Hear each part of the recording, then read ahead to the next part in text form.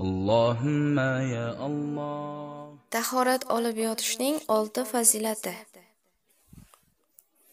Birinchi, tahoratli holda yotgan bandaning haqqiga farishtalar duo qilarkan.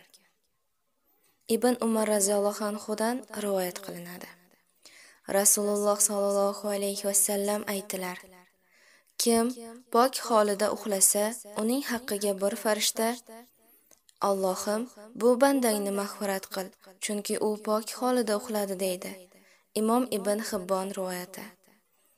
Ikkinchi tahoratda yotgan bandaning duosi maqbul bo'ladi. Moz ibn jabal roziyallohu anhudan rivoyat qilinadi. Nabiy sollallohu alayhi vasallam qaysi bir mo'min banda Allohni zikr qilib pok holida uxlasa va kechasi turib Allohdan dunyoyu oxirat yaxshiligini so'rasa Alloh unga so'ragan narsasini albatta beradi dedilar. Imom abu dovud rivoyati. 3. qiyomat kunida ham tahoratli holida tiriladi. Ulamolar uyquga yotishdan oldin olingan tahoratni o'limga tayyorgarlikning dastlabki qadami deydilar. Ibn abbos roziyallohu anhu aytadi tahorat olib yotgan holida vafot etgan kishining ruhi tahoratli holda qayta tiriladi. Fathul boriy umdatul qoriy to'rtinchi. Tahoratda yotish yomon tushlar ko'rishdan saqlaydi. Ibn hajar asqaloniy rahimahulloh aytadi kim tahorat olib o'rniga yotsa yaxshi tush ko'radi. Fathul boriy muhammad zakaryo gandahlaviy rahimahulloh alayhi bunday deydi. Tahorat olgan holda uxlashga yotish yomon tush ko'rishdan saqlaydi. Taqrir buxoriy.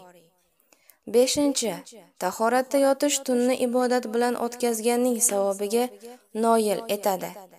Al ijli aytadi kim tahorat olgan holida alloh taoloni zikr qilib o'rniga yotsa to uyg'onguniga qadar alloh taoloning ibodatida qoyim bo'lganlar savobiga musharraf bo'ladi. Fathul boriy oltinchi tahorat yotgan bandaning ruhi alloh taoloning arshi oldida sajda qiladi.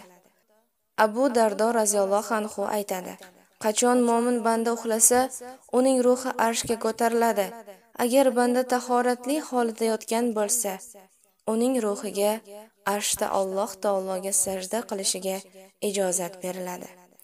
Ibn muborak kitabu zuhd fathul boriy rasululloh sollallohu alayhi vasallam kim tahorat ustiga tahorat qilsa Alloh unga o'nta savob yaxshilik yozadi deganlar. Imom abu dovud rivoyati. Hazrat umar ibn hattob roziyallohu anhudan rivoyat qilinadi.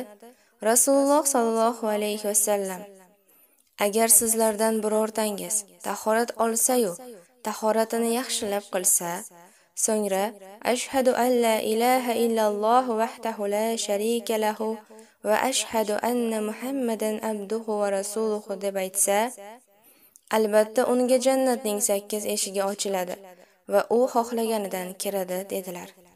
Imom muslim rivoyati. Davron nor muhammad tayyorladi.